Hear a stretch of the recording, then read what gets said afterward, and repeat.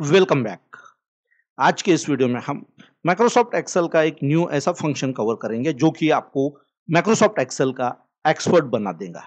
जैसे कि अभी जो है माइक्रोसॉफ्ट एक्सेल में एक से ज़्यादा कॉलम की वैल्यू को जो अगर ज्वाइन करना हो तो हर एक्सेल यूज़र के दिमाग में एक फ़ंक्शन आता है, जैसे कि कॉन्सिटिनेट या कॉनकैट लेकिन वहाँ पर क्या है कि वहाँ का जो प्रोसीजर है, जैसे कि हर कॉलम के बाद जो डिलिमिटर है, वो हर बार आपको वहाँ पर मेंशन करना होता है। तो ये काफ़ी लेंदी प्रोसेस होता है, जहाँ पर अगर एक भी अगर गलती हो जाती है बीच में तो पूरा फ़ंक्शन काम नहीं करता है प्रॉपरली तो अभी माइक्रोसॉफ्ट एक्सेल में जो है, एक नया फ़ंक्शन आया है, जो कि आपका ये प्रॉब्लम जो है, पूरी तरह से सॉर्ट आउट कर चुका है।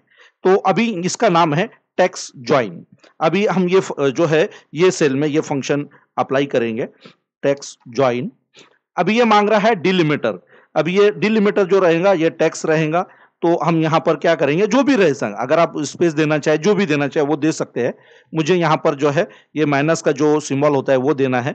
उसके बाद में इग्नोर एम सेल यस मुझे इन जो है इग्नोर करना है. एम सेल यहाँ पर नहीं लेना है.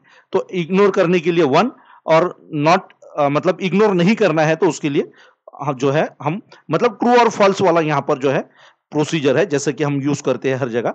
अभी टैक्स वन टैक्स टू इस तरह से तो हम क्या करेंगे अभी? यहाँ से लेके यहाँ तक पूरा इसको सिलेक्ट कर लेंगे ब्रैकेट को क्लोज करेंगे और इंटर प्रेस करेंगे। तो ये देख लीजिए, पूरी तरह से तीनों कॉलम की जो वैल्यू है, ये दिए गए डिलीमीटर के हिसाब से ज्वाइन हो चुकी है। अगर ये डेटा कितना भी हो, अगर मैं यहाँ पर जो है उसको फिल डाउन भी कर सकता हूँ या कॉपी पेस्ट भी कर सकता हूँ। तो इस तरह से ये फ़ंक्शन काम करता है।